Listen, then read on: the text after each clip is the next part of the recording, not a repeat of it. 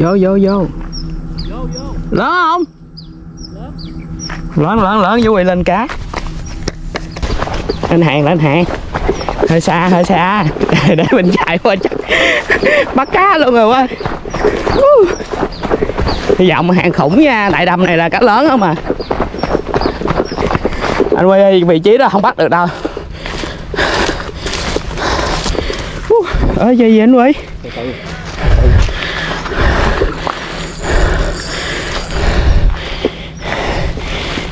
con này hàng 4 năm á. Anh em nghĩ qua góc kia kìa. Rồi đang đang đó cá nè anh em. Bốn hàng bốn. Quá trời con cá mà quá trời đã luôn ha. Anh Huy anh Huy đã đó. Quá đẹp quá đẹp con cám rồi nó ăn con đua con con con này bên đoán phải từ bốn ký rưỡi đến bốn ký bảy chắc bốn ký rưỡi thì chính xác ha. Quá đã luôn. Quýnh nãy giờ đâu không anh? Đâu. Theo nó hả? mời đó Theo mời á? theo. Theo theo nó rồi quá. Biết mặt này rồi gì vũ quy. Hello chào anh em đến kênh shop câu sài gòn. Thì hôm nay bên lại đi câu phước an á. À, thường á thì bên đi à, câu phước an á bên hay à, ăn gỏi vịt ở đây nè. cháo gỏi vịt tiếng phượng. Anh vũ huy anh đang à, kêu nè. À, Vinh á thì à, không có thích ăn gỏi gỏi vịt cháo vịt. à, tại vì mình không thích ăn thịt vịt à, dạng cháo á. Cái nào mà cháo bên không thích lắm. À, nhưng mà thường á thì bên đi Phước An bên hay ăn đây tại cái cái cái con vịt nó ngon á vịt ở đây giống như người ta nuôi thả đồng hay sao á. Thịt ăn ngon nha Sài Gòn bảo đảm luôn. Không bao giờ ngon bằng đây Vinh ăn cũng nhiều chỗ à, mà không bao giờ ngon bằng đây. Bởi vì Vinh thích hay ăn đây à, bình thường á thì à, Vinh với Linh hay đi ăn á thì à, hai tô cháo với lại một cốc tư. Vịt rồi người ta trộn gỏi như thế này á thì khoảng là 120 ngàn. À, rất là ngon. Có vịt nè có cánh nè bầu nè lòng nè. Còn đây là gỏi. Còn trong kia là nồi cháo rất là to. Ngon lắm em ơi. Em nên à, tới đây ăn thử nha. Lần nào mình đi câu bên đây mình cũng ăn.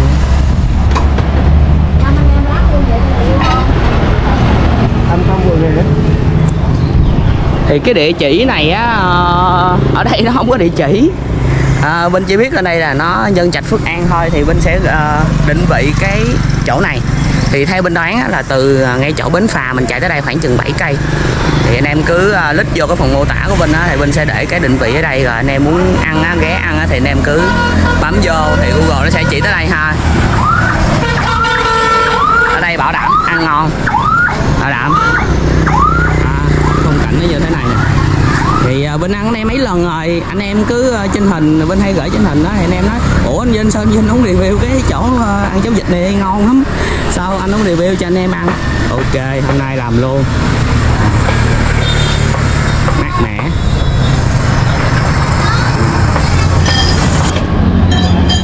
Hello chào anh em nha. Thì à, gỏi vịt đó à, Vinh có kêu cái này nửa con đúng không anh? Nửa con. à, nửa con là như thế này nửa con với bốn tô cháo là theo Vinh là hai trăm tư. À, rất là ngon anh em nhìn nè. Ngon. có quyết nếp đó có huyết nếp nè. Thịt vịt rất là ngon anh em nhìn thịt à, lòng nè. Ngon lắm. Với một củ tuyệt vời. À còn cháo thì à, rất là ngon, em nhìn nè nóng không nè. Không ngon lắm luôn á. Thì em cứ tới đây ăn ha. Ở đây người ta làm à, nước chấm cũng rất là ngon, rất là vừa ăn. Bên đó thì à, ở đây nó cũng có nước mắm rất là ngon, nhưng mà bên thường á thì bên ăn lạng lắm, bên ít khi nào ăn nước mắm lắm. Bên chỉ ăn không à. Bên ăn không thì bên đã thấy vừa rồi à, anh em có thể tới đây ăn rồi à, đi câu thì nó sẽ rất là ngon nó làm cho mình cảm giác là thoải mái hơn. Còn anh em ăn chỗ khác thì Vinh không biết. Vinh có ăn à, ở bên Phước An này nhiều chỗ gọi gỏi vịt rồi mà Vinh thấy gọi những cái gỏi vịt chỗ khác á, nó không có ngon bằng đây. Ở đây á, thì vịt nó nó nó thơm nó ngon hơn giống như là nhiều. Ờ, cháo nấm nó cũng nhiều hơn. Anh em nhìn nè nấm nhiều.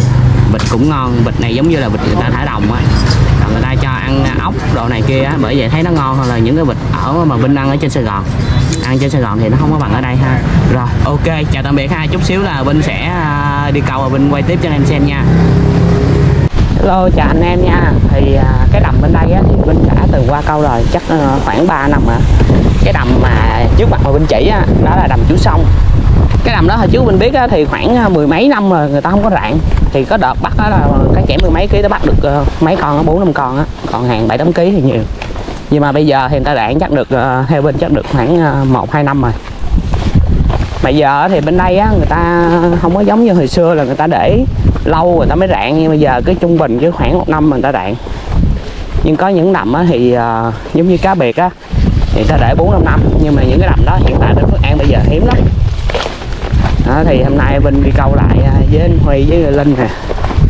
À, trải nghiệm lại. Hôm nay cũng chơi bữa là chơi 12 giờ trưa hôm nay chơi gắt hơn nữa là một giờ trưa đi thằng Gia đình thôi mà. Hy vọng hôm nay có cá. Ha à, bữa là đụng con cá chẽm lớn nhưng mà không có bắt được. Cay quá cay. Cay đến giờ vẫn còn cay. Anh Huy bữa cũng đụng con cá chẽm bên đây lớn nè. Nhưng mà bắt vậy là thôi nha cần đập trâu mà để con cá đâm vô trà là là thôi rồi đó. Để đâm vô trà là, là, là, là thấy là không được rồi đó. Coi là sao á chứ người ta đánh level càng ngày càng lên đánh level càng ngày càng xuống. À cái đầm trước mặt này là đầm chú sông nè. Đó đầm trước mặt chú sông. Trong Nè, mình đánh trong đây nè. là mày đầm chú sông mà. Bảy. Không bảy hả? Tới rồi với chú sông hả? Ờ chắc mình nghe cái chỗ mà đang cắt cái lỡ xong Ờ. ở đầm này á, lâu lắm rồi không có gì. Cái à, xưa nè anh anh nói cắt cái lớn đó đầm chú sông á mấy con cá lớn. Còn đầm này thì anh không biết. À đoạn rồi đúng rồi. Nhưng mà nói um, chú sông là mấy anh em đây nói thôi chứ uh, anh sông đây chắc lớn uh, hơn vinh chắc một hai tuổi không? Cao lắm chừng ba tuổi à. Có đâu. Tấm hai à. Hả? Ừ. Trời ơi tấm hai à. Tại người ta ở đây người ta chinh chiến. Người ta nước muối nó lên thì à, anh xong ở đây thì à, để theo bên mình câu được bên đây thì phải à, nói chung cũng phải quen thì người ta mới cho mình qua. Còn không mà anh em không có qua được đâu. Giờ mình có hướng dẫn cho anh em tới đây câu mà người ta không có cho anh em qua thì anh em cũng câu không được. Đầm anh xong á thì nước nó cạn. À, nhưng mà hồi trước mình câu thì cá mặn nhiều lắm. Và lúc đó mình lại không biết cách đó mà à, câu không có tốt á câu được nhưng mà không có tốt. Thì cá mặn hồi xưa nhiều lắm lúc đó à, mình vô tới đây mình câu chỉ à, vài bãi đường thôi mình uh, à, chuông phía sau á mình câu. Giờ khoảng 3 năm mà mới quay lại đây. Tầm ở đây chắc khoảng mười mấy mẫu mười mười bảy mười tám mẫu á. À, trên đường mình vô cái cái miệng cống đánh mà mình thấy cái eo này ngon quá. Để mình chơi thử rồi thì mình cũng đang đánh là con dắt đồ này là con dắt đồ uh, rai ha. Size của nó là 95 thấy cái eo này ngon chơi thử là sao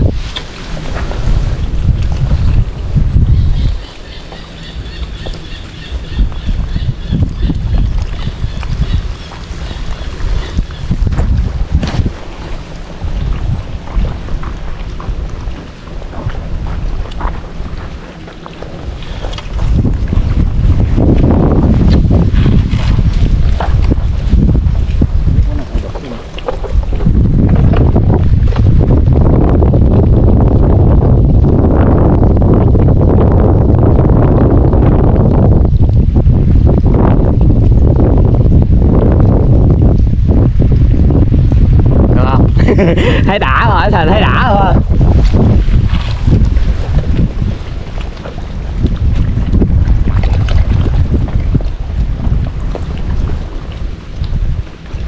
À, lúc trước Vinh à, mới chơi á, thì Vinh thấy là thích đánh những cái chỗ này lắm.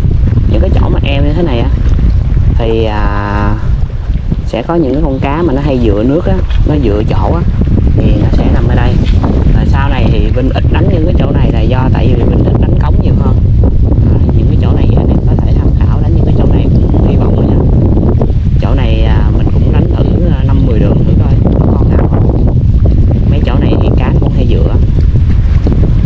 biết đâu được là có sự bất ngờ.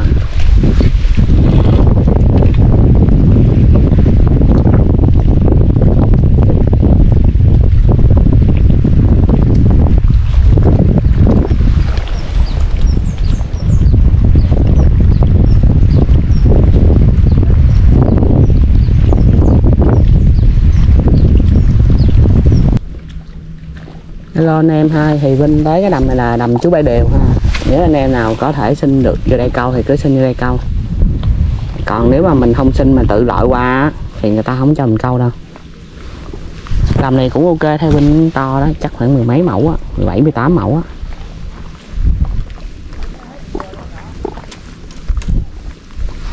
Nãy có nhóm khác người ta câu được con cá sáu ký mấy. À.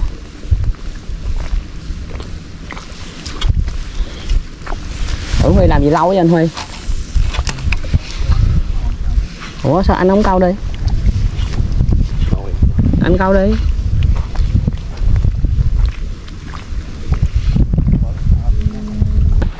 Ở bên đây thì theo bên là cá bể nhiều lắm luôn á. Tại vì à, khu vực này là gần bên à, bờ cặp vàng á. Anh em đi câu cũng nhiều Cá thì cũng bể nhiều. Nhưng mà vẫn có cá à, à, những cái khu vực này á, thì anh em nên đánh những con mồi đi chậm và mình đánh từ từ thôi, đừng có ham đánh nhanh quá.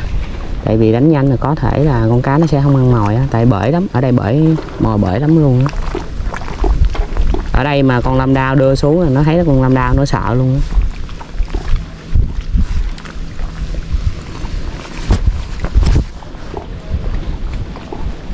Địa hình à, ở đây thì theo Vinh là đẹp ha nhưng mà sẽ khó câu tại vì anh em nhìn nè, rất là rộng. Nó không có những cái eo thì những cái eo đó thì con cá nó sẽ dễ dựa hơn là rộng như thế này. Rộng như thế này mình đâu biết chỗ nào đâu.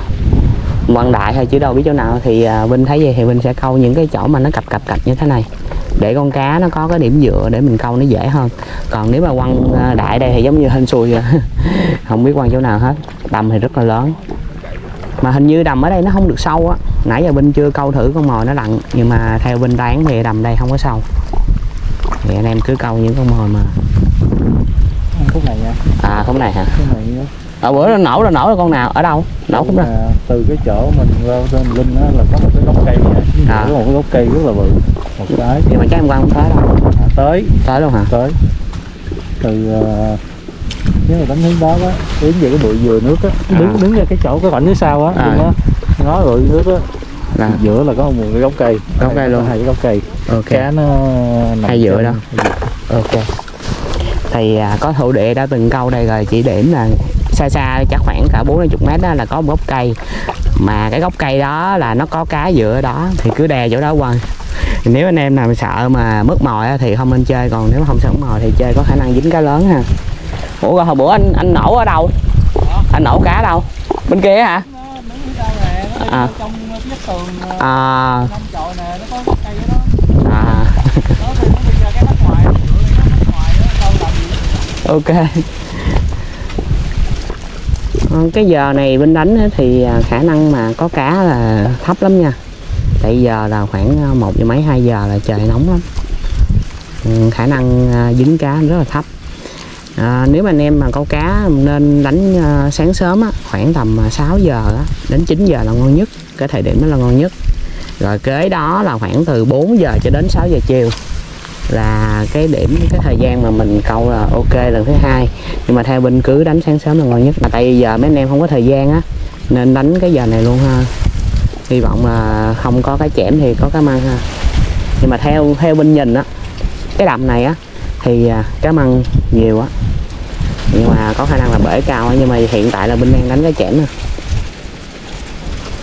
Cái đầm này thì bữa anh Vũ huy chắc đụng cái con chắc phải từ hàng 7 đô lên á ông quýnh cây cây, cần mà đập trâu á, quýnh gền của ổng á mà ông bắt đầu hả con cá sao mà nó để chui vô ngay cái cái gốc cây cái bờ đất này đâu nhưng mà nằm góc bên kia. Đó. bắt cũng khá là khó đó rồi cuối cùng nó chui vô là nổ dây luôn xảy cá luôn. Ổng quýnh đờ cũng lớn dây cũng lớn mà không bắt được con cá nữa nha. Cái đầm này cái vị trí rất là dễ bắt. Mà không biết sao mà bữa ông để cho con cá nó chui vô ngay đống trà luôn. Đầm này thì theo bên là có cá lớn nhưng mà rất là căng, rất là khó câu, tại rất là bự. Tầm to mà nó không có điểm dựa, nó không có trà luôn. Mình nhìn không có thấy trà luôn, thì mình không biết con cá nằm đâu hết á. Này, cũng giống như là theo bên thì quăng mù á.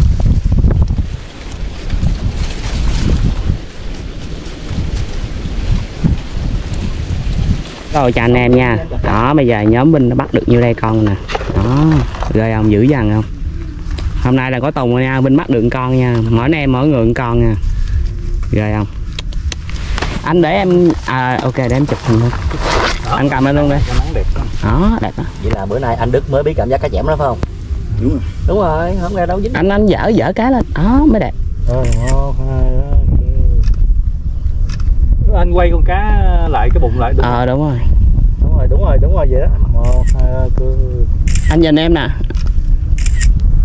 ok anh đừng nhẫn điểm gì dập dập dập dập nghe có tôm có tôm. Có tôm. Mỗi người à, đựng con. Tổng cộng 5 con. Mà đúng đánh cái gì hiện tại thì giờ khoảng à, tầm 4 giờ chiều à. Với lại Vinh thấy mặt nước là nó nó yên á. Vinh thử đánh những con mà bóp như thế này. Kiếm những con cá nổi à. Thì mà bóp anh em cứ đánh đều tay như thế này thôi. Đánh đều tay. Nó bụp bụp bụp bụp à, là đúng action của nó đừng đánh quá nhanh ha đánh quá nhanh thì con cá nó ăn không có kịp. Mà khi mà con cá mà nó táp vô thì anh em mình có dần lại cứ đánh luôn cứ đánh như cái nhịp mà mình đánh rồi chừng nào á con cá nó chạy á thì mình mới đóng nha.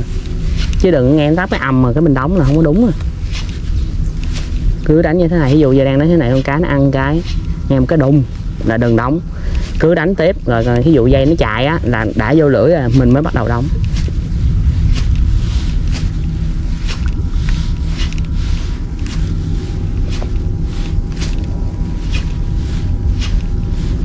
À, chiều anh em thì ờ, cứ thay đổi vừa đánh bóp mà vừa đánh bút kinh đó. Để cho nó ờ, kích thích cái con cá chứ đừng có đánh bóp không hoặc, hoặc là đánh quốc kinh đó không nó cũng không hay ha. Vừa đánh bóp mà vừa đánh quốc kinh đó nó hiệu quả hơn.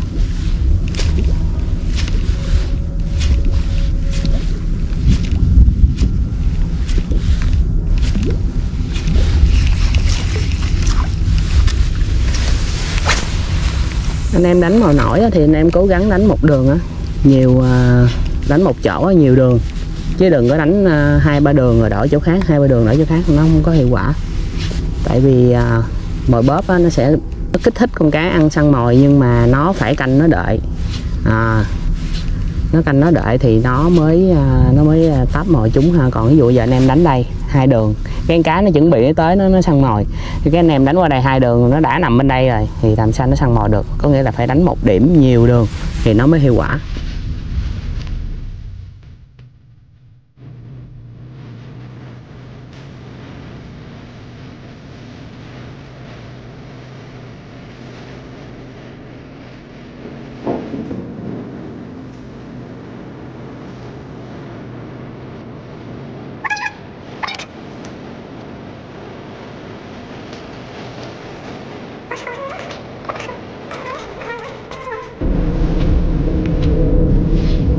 hiện tại á, thì mình Minh đang thấy trời đứng gió mặt nước rất là đẹp luôn. Cái này thì theo Vinh á, là cái thời gian này là cá nó sẽ ăn nhiều hơn hơn hơn là những cái thời gian mà nó có gió tại cái thời gian này á à, con cá nó dễ canh mồi hơn nó dễ nghe cái âm thanh với con mồi nó bơi hơn dễ thấy mồi hơn. Thì cái thời gian này anh em câu nó sẽ hiệu quả hơn cái thời gian mà gió ầm ầm ầm hơn vô vô vô. Lớn không? Lớn lớn lớn vui lên cá. Cá lớn rồi à? cá lớn cá lớn vui lên hàng lên hàng. Hơi xa hơi xa. Để mình chạy qua chắc. Bắt cá luôn rồi quá. Hy vọng hàng khủng nha. Đại đầm này là cá lớn không à?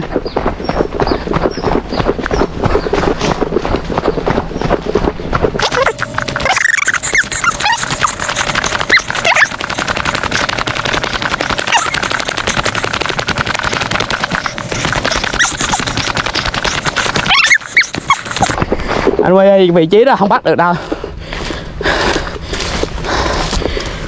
Ở dây gì anh quay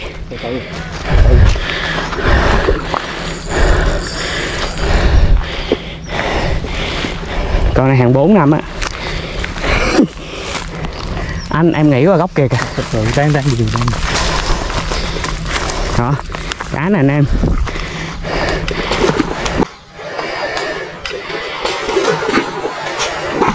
bốn hàng bốn hàng bốn mà ú à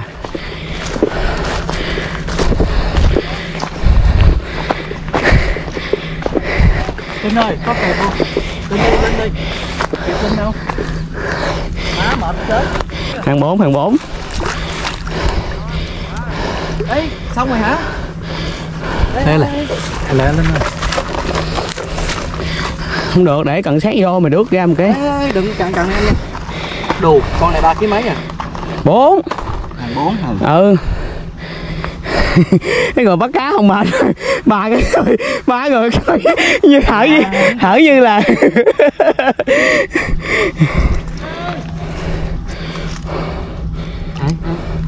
như vậy. Cầm dưới nha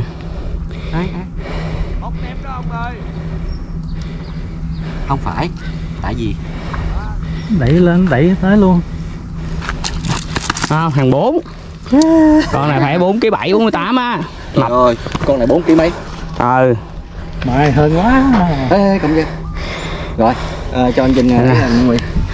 Quá trời con cá mà. quá trời đã luôn ha anh Huy anh Huy đây đó quá đẹp quá đẹp con cám Rồi, nó ăn con đua con con này bên đáng phải từ bốn ký rưỡi đến bốn ký bảy chắc bốn ký rưỡi thì chính xác ha quá đã luôn. Quýnh nãy giờ đâu không anh? Đâu. theo nó hả? Mày đó. Theo Mày theo. theo theo nó rồi quá. Biết mặt này rồi cái gì vũ quy?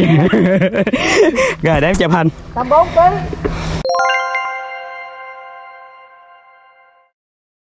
ok quá đẹp. Chụp hình ờ, Nó kiểu. chụp mấy cái rồi. Rồi, mình chụp cái được. Ừ, hàng chi thấy em ru không kêu bằng vinh quá đánh ờ, phụ anh à, rồi. đánh bình Không, chết. ơi, nó nó ở mấy con min nào á. đó như là thấy không? Thấy cá táp rồi xong đứng ngồi quýnh hoài luôn không kêu ờ vinh ơi anh hại sảy rồi thấy không? Sợ qua sợ qua là bắt cá hiểu không? Rồi bên coi bên kia bên chạy muốn xỉu luôn. Không. Phơi quá phơi quá. Có móc chưa? Không có móc em có móc nè Trời cái cái đuôi con này ờ, đâu À, cái đuôi con sao? còn cái này đẹp quá anh em ơi anh em nhìn. Cá đẹp á. khá đẹp mập ú. Hai thằng để coi lại. Không chắc không đâu có gửi đâu. Bốn cái ba nha. Mình nấu mới có ba nha đón lại lần nữa nha. Đó hơi ngắn hơi ngắn. Có mà. hơi ngắn hơi ngắn. Ok mập mình đẹp cá. Wow, đúng. ok Rồi. lấy cái gọng Cá đây lên đúng rồi. hello chào anh em nha thì à, Vũ Quy à, cá đã táp hụt rồi mà Vinh đứng bên kia Vinh đánh. À, à, ông anh hơi kỳ không nói ờ Vinh ơi qua đánh phụ anh sợ Vinh qua là Vinh bào hiểu không? Cái đánh là cả tiếng hồ bên đây luôn. Đó mới lên hồi nãy lên được con cái chém lá từ xa cũng nhỏ à chắc khoảng hàng năm á. Đợt trước anh xảy cá mới lớn. còn bây giờ là con này hàng 4 nè. À, anh xảy con 4 con này khoảng 4 kg ba Vinh đón vậy ha. Để về cần này à, báo sao quá đẹp quá đẹp quá đẹp. Quá phê. Quá phê.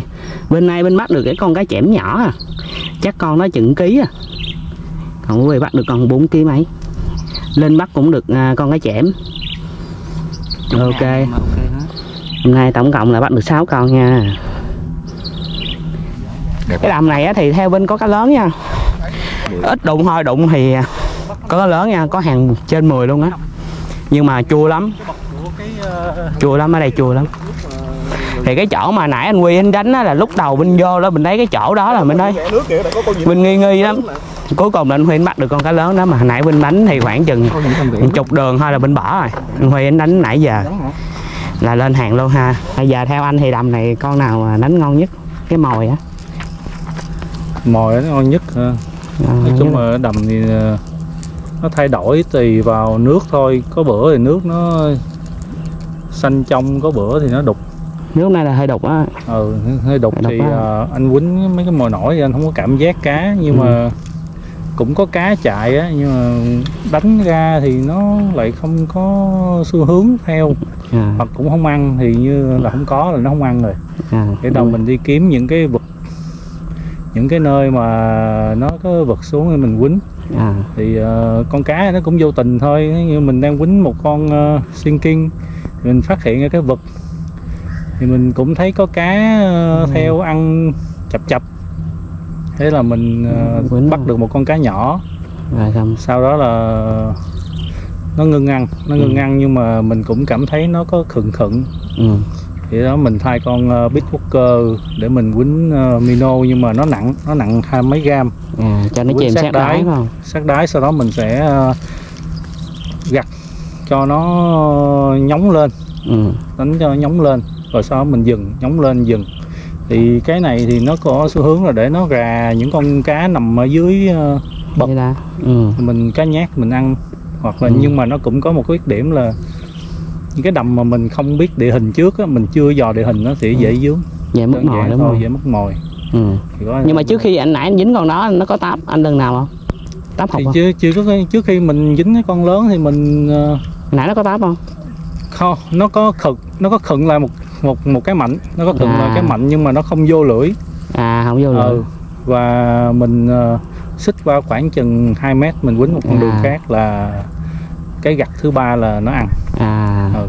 vậy là, là có thể là con cũ nãy nó bể rồi nó ăn lại đúng rồi nó Đúng vẫn rồi. nằm dưới cái bậc đó thôi à, ok. thì ờ, cá mà nó nhát á, nó không ăn nó không theo mồi những ngày theo mồi bắt buộc mình phải đi săn nó À. săn nó thì nó mình sẽ phải đi kiếm những cái bậc mà mình quýnh thôi À. xui thôi ok thank you anh Huy Dạ. thì giống như à, hồi nãy anh Huy anh chia sẻ thì à, giống như cái cái cảm giác của mình đánh nó rất là quan trọng thí dụ cái đầm nào mà nó bể quá thì à, anh em nên à, đánh những con mồi chậm và những con mồi lặn sâu nhất có thể. Thì khi đó nó sẽ gà cái tầng đáy.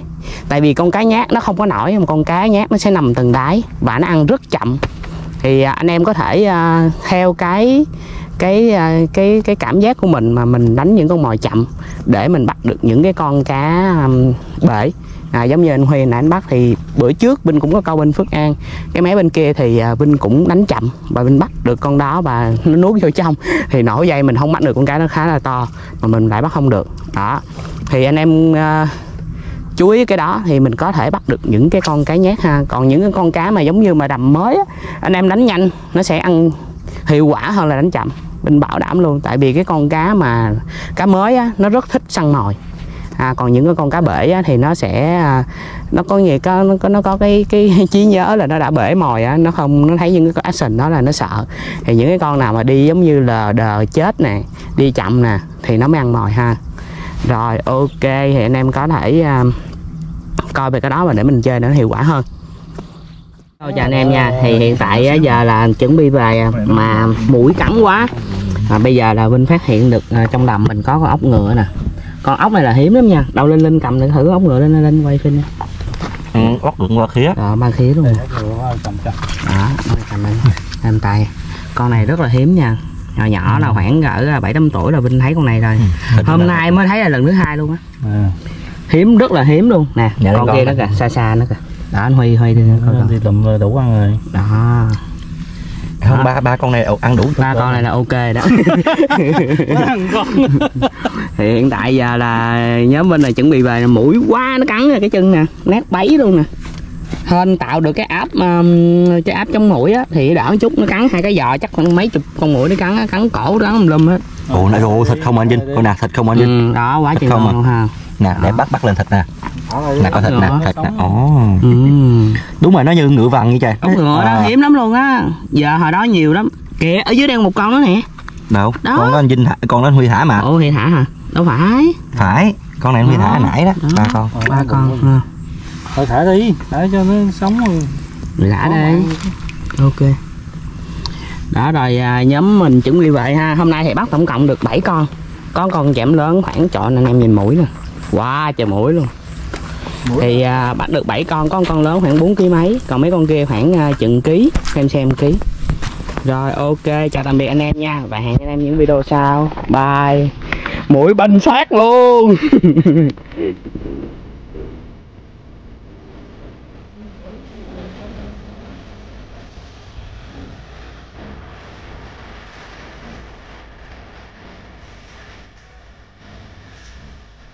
必丝谨记凭我绝技一板间都可越过百千里要上飞天去还望见